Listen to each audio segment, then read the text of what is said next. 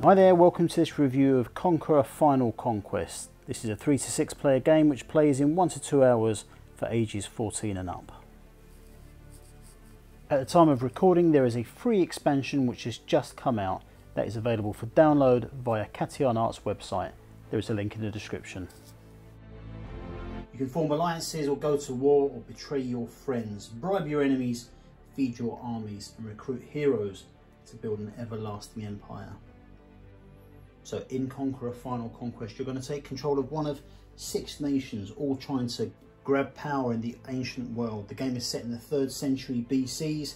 It includes the nations Rome, Greece, Egypt, Persia, Gaul and Carthage. Each nation has a set of hero cards, which can be used to power up your gameplay. It has a set of bonus missions, which are going to help you to earn currency much, much quicker. And each nation also has 8 infantry tokens and 12 cavalry tokens. To win the game, you need to dominate 5 forts for a whole game round. You will do that by introducing cavalry and infantry into your lands and then pushing them through to new areas in order to capture new forts and additional resources. So to start a new game, you'll decide which side of the match you're going to be playing on. So on one side you have five to six players for a grand campaign. And on the other side, we have the three to four players. You'll choose a nation and place its starting pieces as indicated in the rulebook. There's also a number of white pieces. These are for an independent army which isn't controlled by a single player. These pieces are placed on the board as per the independent army table on page 9. As you play through the game, the size of your force will be dependent on the food supply matrix. The number of food supply spaces you control on the board dictates how many units are available to you. The food supply is increased by capturing areas with this symbol on it. As you capture areas, some of them will have a currency token on there that means that at the start of each turn, you will earn tokens to the value of that currency for all of the spaces that you control. The number of forts that you control will determine how many infantry and cavalry you can introduce to the game.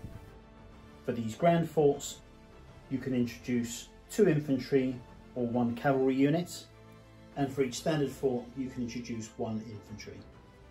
You can also earn your currency for each area held with this symbol. You can purchase hero cards using the currency that you've got. Heroes can either earn you more currency, improve your statistics, or give you bonuses in battle. And you can also move your units to gain new territories. Remember that if you move some units which cause your food supply to drop, you will need to remove them to stay in line with this scale. Now your planning phase has a maximum time limit of one minute. If you exceed that, you are open to other players making a bribe. If it's successful, that army and the territory will be transferred to the bribing player. The bribe is successful if the briber declares which army he's bribing and hands over the right amount of money to the bank before the late players gets the chance to take an action or before another player is successful in placing any bribe. The late player can lose a maximum of one of his territories through a bribe in the planning phase if more than one player attempts a bribe, they just roll off to see who wins. Now where there is water, it is effectively one large space. So if you have a cavalry unit, for example, in the water, and it's come from Rome, effectively on its next turn, it can go to any adjacent space, which is dry land, which is not connected via any of these lines. When two units battle against each other, you need to calculate their strength. So a cavalry unit is 2 strength and an infantry unit is 1 strength. Now just because it's defending a territory, the defense unit gains 1 extra strength. If the defending unit is in an area with a fort, they get 2 extra strength. And if they're defending their home territory, they get plus 4 to strength. So for example, in the case here, we have strength 2 against strength 1, plus it's a defending unit, which is a which is an extra one. So it's two versus two. They'll roll off the dice, so I'll roll for the attacker first. So strength of two You add up the value here, three, four, five, six. That's a strength of six against a strength of two. Three, four, five, six, seven.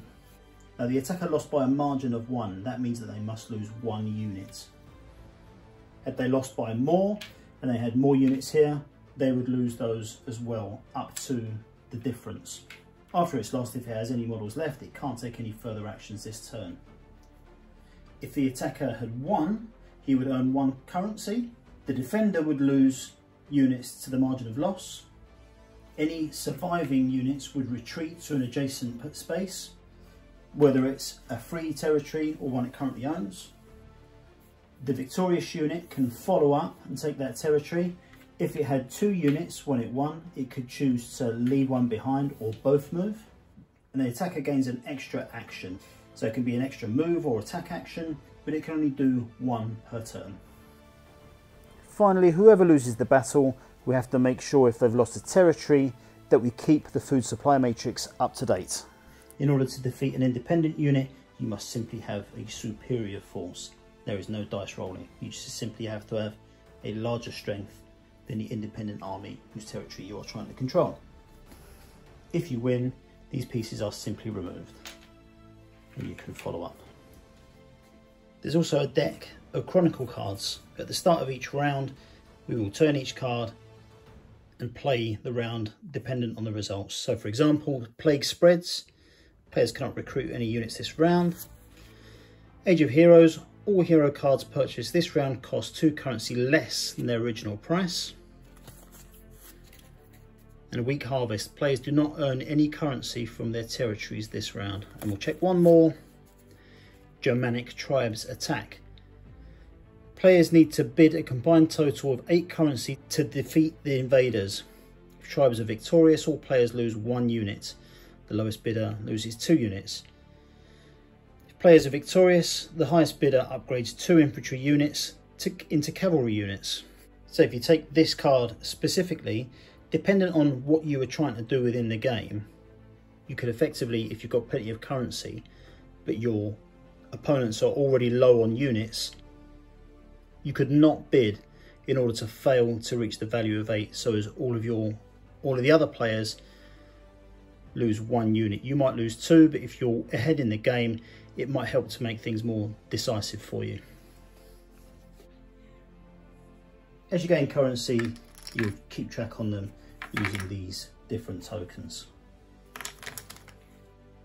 So you're going to find it difficult to keep tabs on your food supply matrix as well as building forces which are strong enough to get in and win home territories because with the massive strength boost that they get they are difficult to break down and somewhat easy to defend.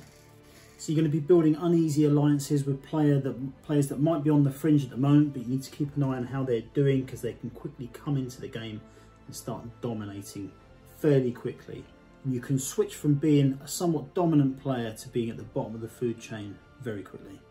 There's no doubt that the game plays better on the five to six player board. It's quite easy to play a game on your own, try and increase your food supply and increase your number of territories. But then again, if you're not in the fight, other players are going to pick up on it quite quickly and they're going to team up to deal with your threat. Each nation has these really cool bonus missions in which they can win plenty of currency to spend on heroes and that kind of thing. So the ones that are the highest currency, for example, on Gaul, you need to conquer Italy, which means you need to get in control of these three territories here. Now, Gaul isn't that far away, and it's conceivable that you could do that quickly, but it's going to be difficult to get that home territory. You're going to build your force, but then these Chronicle cards are going to come in and ruin your next turn, forcing you to wait or potentially have to retreat and rebuild your forces. The three to four player side of the board has got less home territories, but that allows you to get into the fight with each other much more quickly. There's also a two-player expansion available free of charge called Conqueror Duels. This is available for download on the publisher's website and there's a link in the description to get to that. This allows you to play as either Carthage or Rome and offers a number of scenarios to play in that smaller player base. The game also comes with four quick guides which are going to help you to push on with the game relatively quickly. So like I said before, This game really excels at the higher player counts. You're going to feel under pressure to get your planning phase out of the way because you know that all those other players are going to be waiting for the timer to run out so they can try and get those bribes in and try and steal some of your forces. In fact, one of the games that we played, one of the players actually lost on that bribe. So by taking too long over their planning phase, they actually lost the game for everyone by letting a player that had four active forts steal their territory with a fort and then last out for a round of the game to eventually win. I think Conqueror Duels is very much worth a look. It is a slightly more stripped down version of the game, but it does offer the scenarios, which are really good introduction to an already brilliant game. So if you're looking forward to getting coronavirus behind us and getting a good game that's easy to play and quick to learn, back to the tabletop, I very much recommend Conqueror Final Conquest. It's available via the publisher's website. There's a link in the description. Thanks for watching. I'll see you next time.